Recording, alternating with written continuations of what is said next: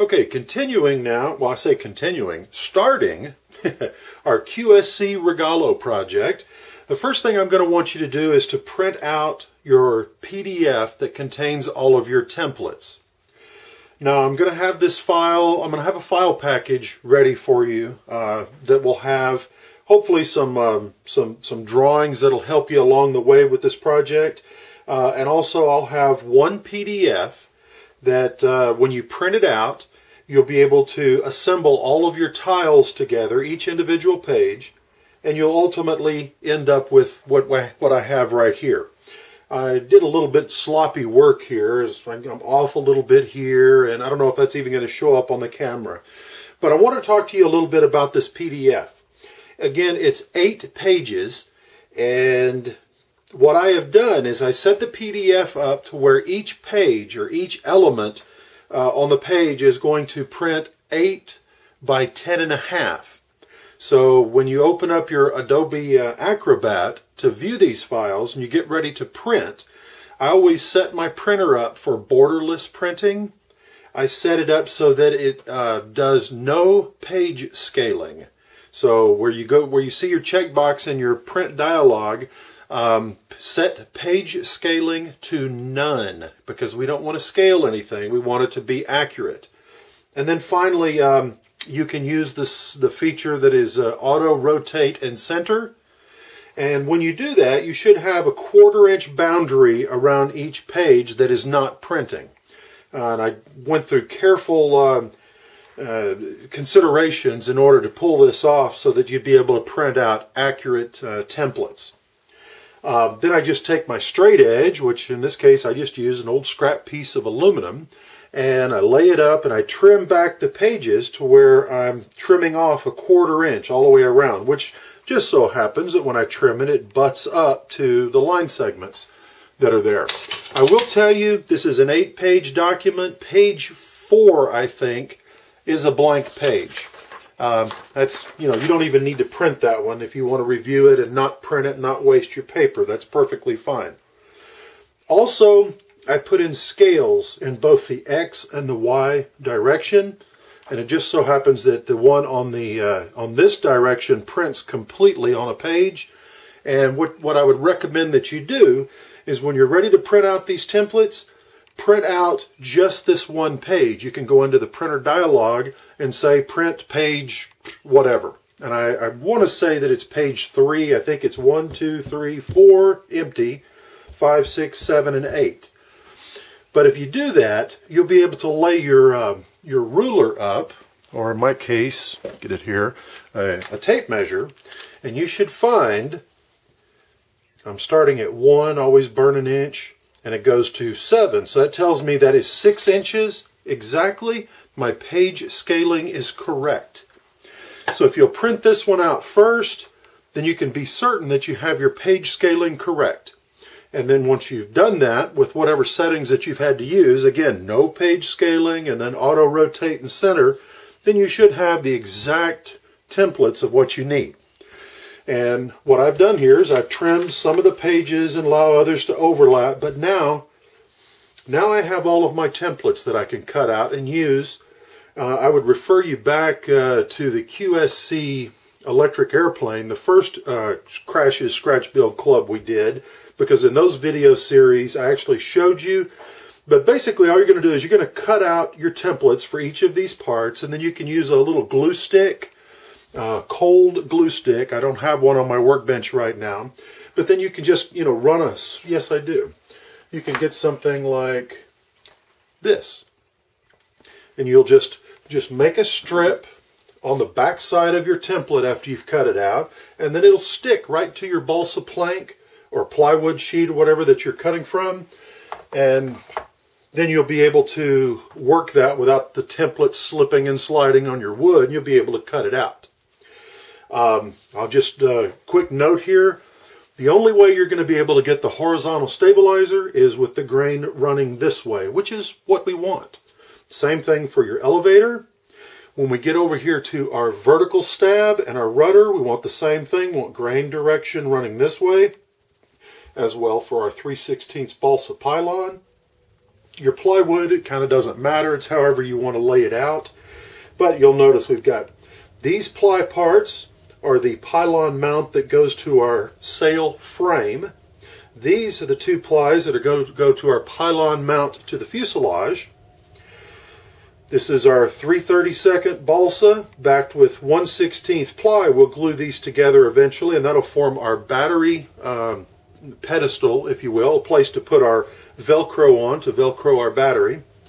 Um, 3 16ths balsa for our pylon, 3 32nds balsa for our vertical and our rudder, 3 32nds balsa for our horizontal and our uh, elevator. 3 32nds balsa, this is going to get glued to the bottom of our pylon to give us the right spacing. Since we're using a 3 8 dowel, like I have here, that's going to be our fuselage, 3 8 square dowel, we need to be able to glue that all up. Um, and, and because this is 3 eighths wide and we've got a 3 16ths pylon, naturally we're going to have a variation. You know, one, one of them's not going to be as thick as the other, and that's where we use these 330 seconds balsa pieces, and it doesn't matter which grain direction these are, but they're going to make the difference up on the pylon, so when we get ready to glue this all together, it's, you know, nice and square and flush. So, uh, also our landing gear, I've given you some rough templates. Um, I made these big. I'm showing wire to be an eighth inch thick, and naturally you don't have to use wire that thick. I just wanted it so that when you're bending your landing gear up, you would have the opportunity to use this as a easily referenced template to lay your wire down and bend it and work it to get your landing gear and your tail skid. And these are just to rough dimensions. You may want them a little bit lower. Uh, I don't think you'd want them taller. I'm about a seven and a half inch on the down leg and that seems to work pretty good on mine. This is basically modeling after the slow stick landing gear that I use. Um, when you get to these 1 16th ply corners, you might want to cut these just a little oversized. This is what's going to join our spine and our two leading edges for our sail frame. And if you cut them just, I don't know, maybe an eighth inch oversize, then you can always sand those down after we glue everything up. So you might want to do that. Anyway, this is what you've got. Print out your templates, make sure they are to scale, um, like I have here, and you don't have any funky page scaling going on, and assemble them all up like this, and then you can start cutting out the parts uh, as noted here.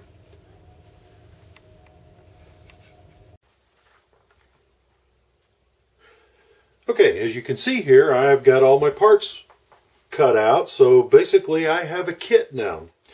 Um, a couple of things we want to do. First of all, uh, let's talk about our servo tray. That's what that little H looking thing or I looking thing was. That's our servo tray.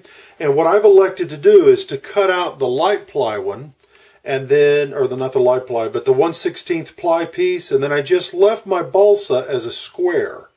And uh, what I'm actually going to do is I'm going to glue these two together, get a laminate on them, and I'll actually take my pen and just make a little reference on each side because that balsa is so nice and light and it's going to be real hard to cut that out without breaking it. So what I'll do is I'll lay glue where this is going to go onto it like that. And then I'll cut it out after it's dry. So we're going to glue these two pieces together. Now if you've gone to the trouble of taking your 330 seconds balsa and cutting it out, that's great too. But we're going to laminate these two pieces together. Okay, so I'll do that off camera. You see I've got my vertical and my rudder cut. And uh, we'll set those aside. I've got my pylon cut. And we can set that aside. I've got my plywood pieces for where the pylon is going to mount to the uh, sail frame. So those are taken care of. I'll set those aside. Uh, got my battery uh, pedestal, 330 seconds balsa, 1 16th ply. We're going to laminate these together. And uh, one thing I want to bring up is what I like to use, what I've cut all of these parts out with. I just use a single edge razor. And the reason that I do this, first of all, your X-Acto blades are kind of expensive. And I buy these single edge razors. I don't have a price on this, but I think it's like seven or eight dollars at my true value. I get a hundred of them. And when I get one that goes dull, I pitch it out, grab another one. I do want to tell you, if you go that route, do yourself a favor and get yourself an old jar or you know like a mayonnaise jar or something with a lid and you can create a sharps container because you don't want to throw those razors straight in the trash can. Um, that's what I do around here and I have to be careful with those razors because I have young children. Um, a couple of things here. We've got, okay, these are going to be laminated for our servo tray, our battery pedestal. We'll talk about these in a moment. Here's my elevator and my horizontal stabilizer. Now I want you to notice that on your templates, and I'm going to try to bring that into focus, you'll see that we've got a strong solid line that stands for the middle, that's what that's trying to represent, and I've got a dashed line on each side of that. Well those dashed lines represent our 3 eighths distance of our fuselage, you know, that we're going to do, our 3 eighths dowel fuselage. Well, what I've done is I've transposed those onto my balsa. On one side, I've take the I've got the dash lines that I've made solid here, and on the other side, I have that strong center line. Now, the reason that we go this way is that center line is going to tell me on the top side where I can mount my vertical nice and flush and straight, you know, 90 degrees. And then on the other side, I'll know how to glue on to my fuselage boom, giving me, uh, you know, a nice centered, you know, uh, horizontal stab, nice and, and, centered and 90 degrees off of the, uh, the, the fuse stick. So anyway, that's what, uh, that's what I've done there with a horizontal. And we can set those aside for now. Um, and elevator two. Now, one of the things that I want to show you that's important when you cut out your fuselage pylon uh, plates, you've got two out of 16th ply, and then you've got two out of balsa. Well, I want to show you how we get these. You'll notice that these are not exactly square. Eh, they may look like it at first glance, but they're not. And as we, if we've cut our pylon accurately, we notice that there's a little difference, right? Um, was it, about an eighth of an inch or so. Well, what you want to do is you want to match up the, the, um, the width so that it's the same width as the pylon. You'll see I've already got a line on there and I'll show you. Uh, but once we understand which, which one is supposed to be the width and which one's supposed to be the height, then we can take that and line that up against our fuselage, as so, and then take your pen and make a mark. And that's how we get this. Now we can take our balsa pieces and go right up to that line and we can laminate those. I've cut these maybe just a little oversized. That's okay. Uh, just because I don't mind going back and sanding them down with my sanding bar. But we're going to laminate those two pieces together. Again, we've got, oh, picked it up first time. That's wrong, if you can see that on camera. We've got an overhang of the pylon, but this is right. So again, we're going to come in here, we'll set it up to our 3 8 fuselage, and we'll make us a little line. And now we can take our balsa shim, is what that really is, and make sure that we're good there, and we can laminate these. So I'm going to glue all these things up and laminate them, and then we'll go on to the next step.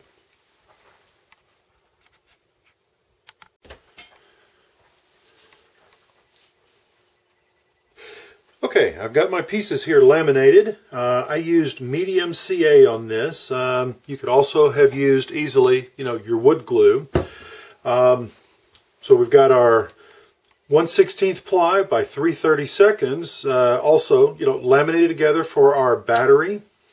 We've got our two fuselage pylon supports, and we've got our little servo tray there. We're going to put that aside.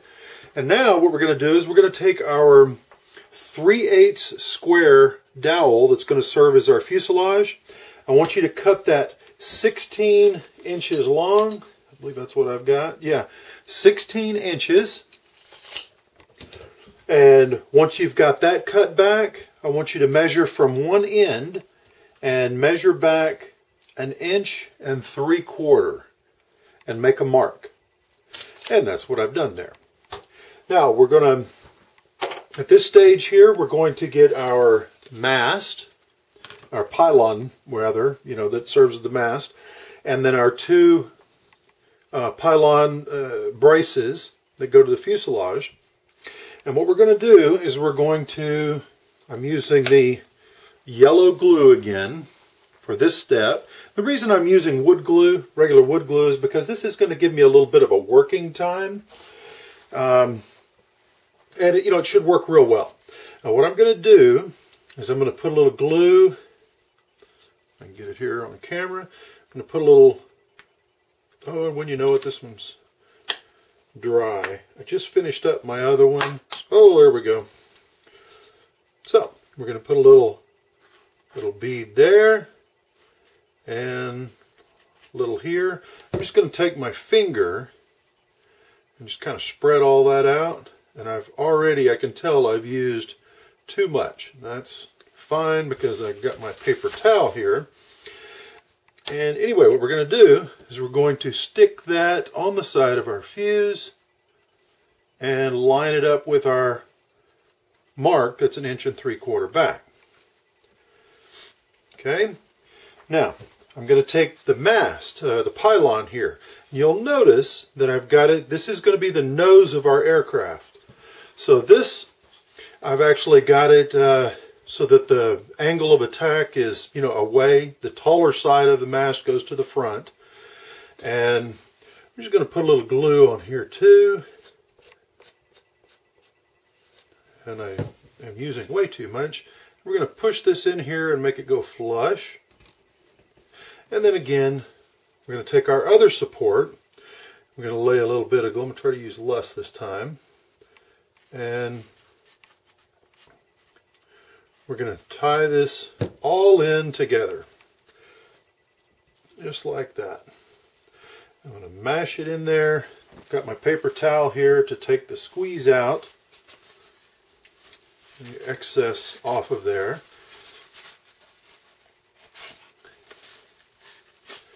And at this point, we're just going to put it in there, make sure we've got everything pushed down nice. And boy, have I made a mess. I usually don't make a mess like that. But I'm pushing down on this, making sure my pieces on the side are sandwiched together. I hope you can see that. We are at our mark. Now, if you have some clamps, now would be a good time to clamp this thing all up. Let it dry. And I've got a nice assortment here of clamps. If you don't have clamps, that's that's cool too. Because what you're going to do then is just put, you know, make sure everything is nice and square like you want it.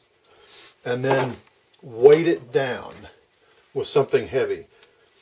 Uh, one of the things that I use, I'm a, I'm a ham radio operator. So batteries are things that I use in the field. And there we go. That looks pretty good. And so I've always got my, my battery, my gel cell, or well, it's not a gel cell, that's a lead acid, or this one, which is my motorcycle battery. Those are good. I'm not riding my motorcycle right now. So those are good for making certain that we've, uh, we've got plenty of pressure on there. But since I have these clamps, that's what I'm going to use. And I think you can see what we've got going. We're flush on the bottom. We're sandwiched in there on the top, nice and vertical. Anyway, um, we're going to let that sit now. We're going to let that dry up. And in about 20 minutes or so, it should be, 20, 30 minutes, it should be ready to proceed on to the next step. You do have time to, uh, you, you, do have lots of time to wait or go on to other things when you're uh, building models where you have to let the glue dry. So we'll take a break here and then uh, while I'm letting that dry, I'm going to set up our next assembly.